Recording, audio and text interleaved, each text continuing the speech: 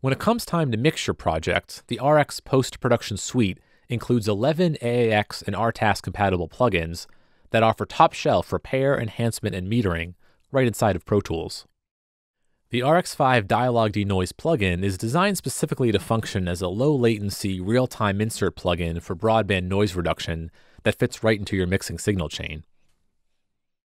As part of the post production suite, you'll also get RX Final Mix, which is a purpose built high performance insert plugin that loads in either the equalizer or dynamics menus.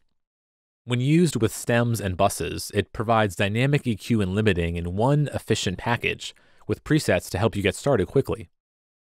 A powerful meter can help navigate difficult challenges in the mix process.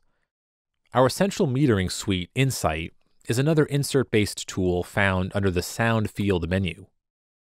Whenever you use RX Final Mix or Insight plugins as inserts on a multi channel audio file, make sure to select them from the multi channel menu. Insight can also monitor meter taps from any track or bus in your session, and those appear in the Other menu.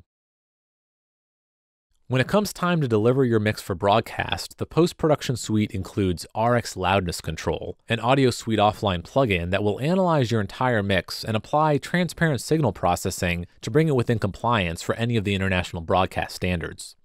Simply select your printed mix and open RX Loudness Control from the Dynamics or Sound Field Audio Suite menus. Now you can analyze your entire mix and process it to whatever broadcast standard or particular settings you need.